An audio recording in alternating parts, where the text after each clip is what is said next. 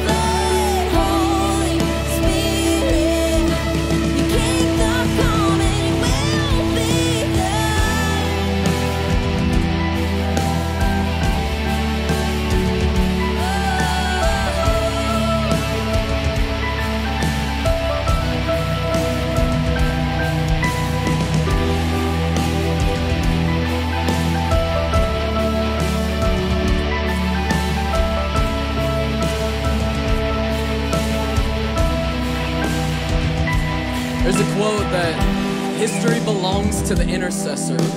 I feel like these are one of these moments where we're joining in song and we're saying the Spirit and the bride, we're joining in intercession and we're saying this is the moment that the church unifies with the Spirit. And this is not just a song, there's an intercessory cry and an ache from the church. It's the ache. I want you to engage the ache. It's the ache.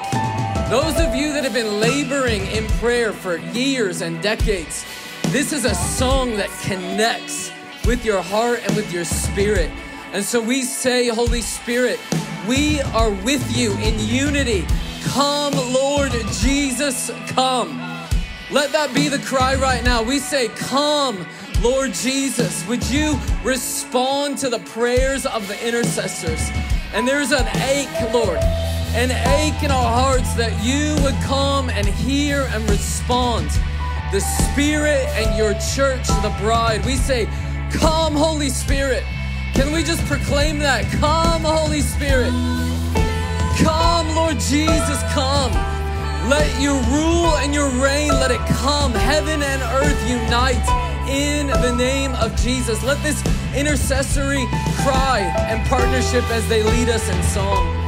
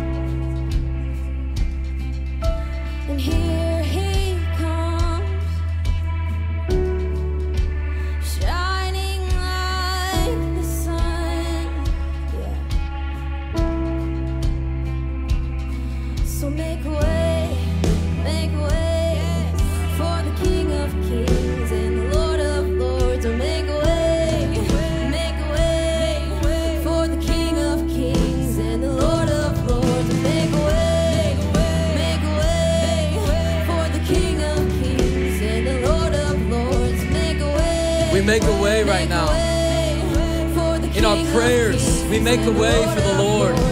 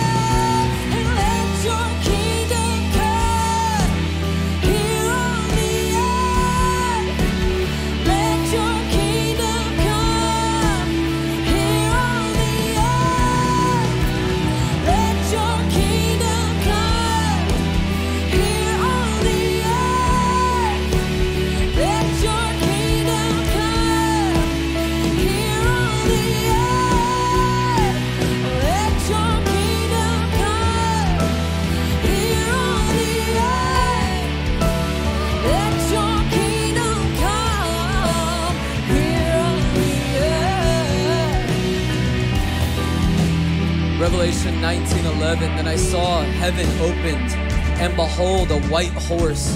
The one sitting on it is called faithful and true. And in righteousness he judges and makes war. His eyes are like flame of fire, and on his head are many diadems, and he has a name written that no one knows but himself. He is clothed in a robe dipped in blood and named by which he is called the Word of God. God, we see you, God, coming on this white horse. And you are faithful and you are true and you judge and you make war against enemy and hell. And we put you on notice and we say, The Lord Jesus, who is faithful, true, and righteous he has a tattoo on him with the word of God, and he is coming to redeem and capture his people. And we say, Come and make war, Jesus. We partner with your spirit in these end times, Jesus. We await the return of Jesus because we know you're coming in victory. We know you're coming in power. We know there's a sword coming out of your mouth. God, come in victory, come in power. You are faithful and true, and we glorify you in the name of Jesus.